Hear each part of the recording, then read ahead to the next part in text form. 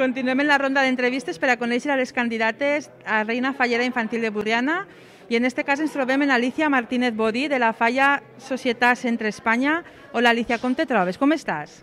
Hola, estic molt bé, molt poc nerviosa i pues, ah, sí, estic tranquil·leta. I com estàs vivint aquestes primeres hores des de que t'han dit que eres candidata a Reina Fallera Infantil? Pues estic vivint-lo en molta il·lusió i molt activa.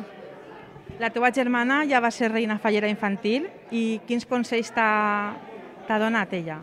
M'ha dit que eh, quan estem els presidents que no me fique nerviosa, que siga jo mateixa, que eh, això és el que volem veure. I de les falles, que és el que... perquè tu tens un currículum ampli en les falles, no hi ha sigut, han tingut els seus càrrecs, eh, com, què és el que més t'agrada de lo que se fan falles de Burriana?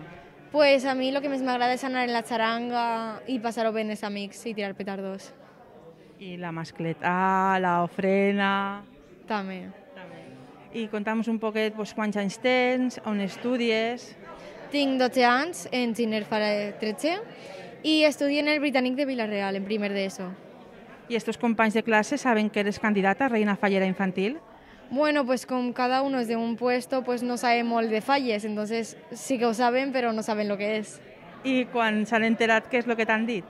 Pues les del meu grup d'amigues, que sí que s'ho he explicat a vegades, eh, s'han ficat molt contentes i han dit que el dia de l'elecció que estaran en ma casa. Molt bé. I les teves aficions, eh, quines són?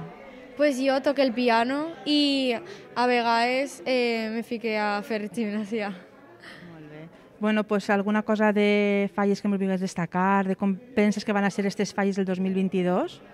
Pues jo crec que van a ser unes falles molt bones, molt intenses i molt curraes, perquè com l'any passat, no va, este any no han pogut ser tan bé, pues ara que són en les fetges actuals, eh, suposo que seran millors. Per això esperem tots, no? Gràcies, Alicia.